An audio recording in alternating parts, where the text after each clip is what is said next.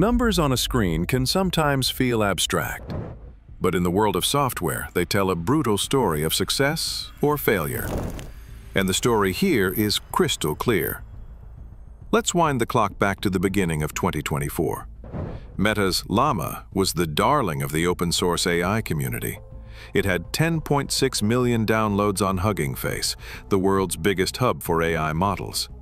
Alibaba's Qwen was a distant blip on the radar, with just 500,000 downloads. It was a complete non-issue. But then, something began to change. Throughout 2024 and 2025, developers started to notice Qwen.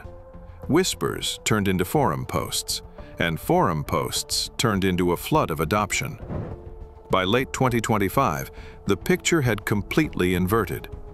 Qwen had amassed a staggering 385.3 million downloads, blowing past Llama's 346.2 million. It gets even more dramatic when you look at what developers are building.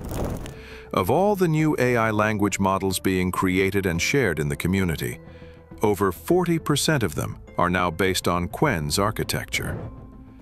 Meta's share, meanwhile, has plummeted to just 15%.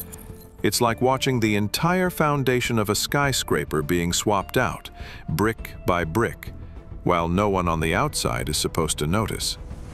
The very ecosystem Meta thought it owned is now being built with a competitor's tools. This isn't a fluke.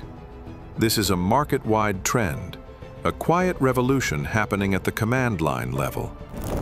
The evidence is undeniable, but it begs the most important question. Why?